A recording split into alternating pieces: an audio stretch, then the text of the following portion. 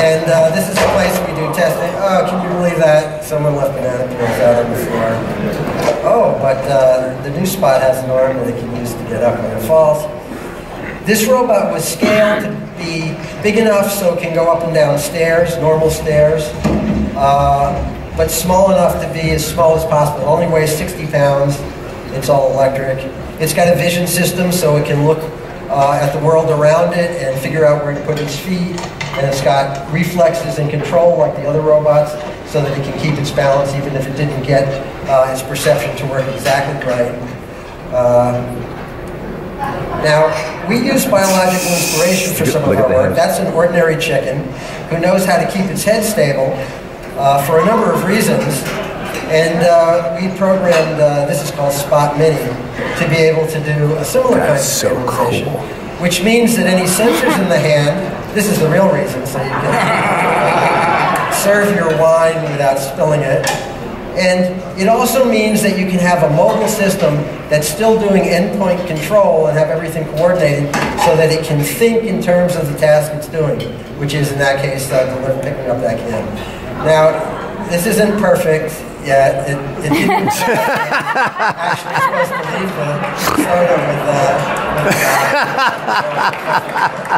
uh, That was funny. And we're also doing work on, ro on robots that have uh, uh, are bipedal, or more of a human form. This is a second generation Atlas robot uh, that we've been uh, working on. It weighs about 180 pounds, and it's just a little bit taller than me. Uh, we had a previous one that was a real hulking uh, monster, and uh, we really wanted to get something that was more in the scale of a human. And uh, we've been testing it doing uh, uh, logistics tasks. Here it's handling boxes. Uh, we have it's using its whole body, not only its arms, but its ability to orient its upper body and its, obviously its legs in order to do these handling tasks. And there's really quite a lot it can do.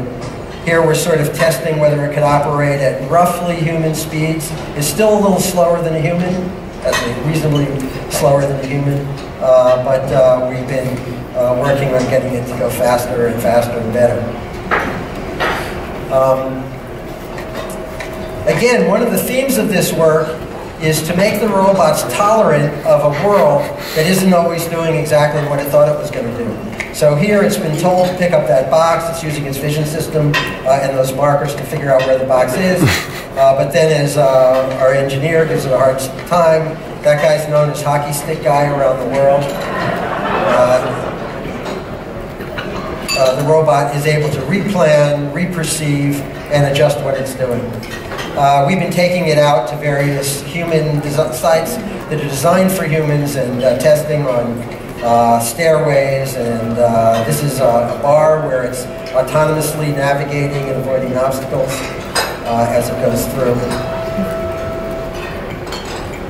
Here's an experiment with a, a two a person and robot task.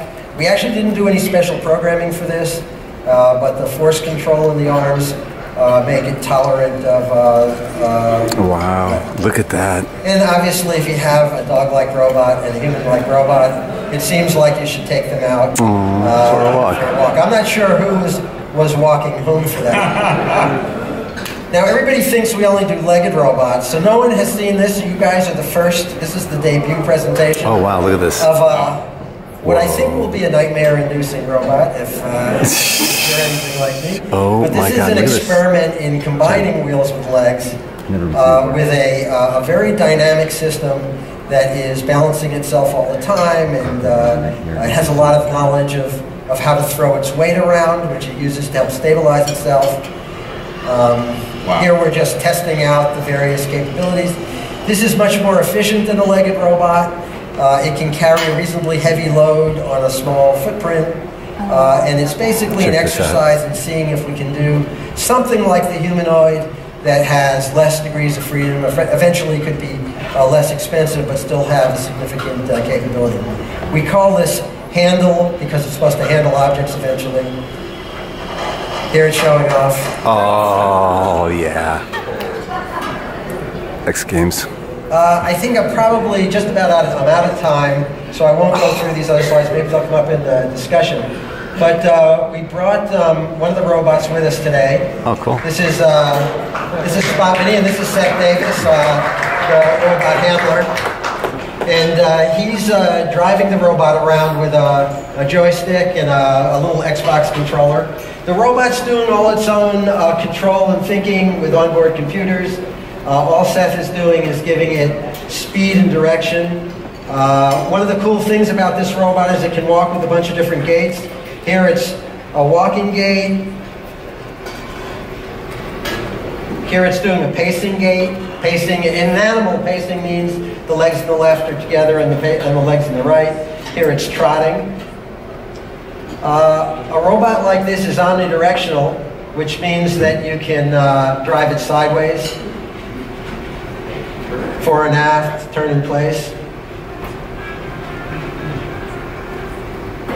Uh, you want to do tall and short? Um, the controller for this uh, robot is, uh, is really interesting. Uh, I, am not going to talk about it too much now, but later we can tell you more about it. But there's a style of programming called sequential composition, which means that the programmers can work on really narrow functionality and have the pieces go together to enable a, big, a very wide range of capability. So the program that made this robot do the various gaits generalizes across walking tall and short and that kind of stuff. Um, the robot has an arm. Some people think it has a head and a neck, but we call it an arm and a hand. It's actually got a sensor in the hand, and a little bit later, you, you want to do the uh, chicken head thing? We call this the chicken head move, where it's stabilizing the hand oh, while it moves the body. I just realized that, I don't know if it's politically acceptable, but we really should call this motion twerking, I think. it looks a lot like twerking, doesn't it? Uh, oh shit. let's see, what's next? You wanna, you wanna, uh, it can, it's a kind of a show-off robot, so it has some dynamic gaits. Here it's, uh, it's hopping on diagonal legs. It can also jog. Quieter than the last one. And you want to pick up the can?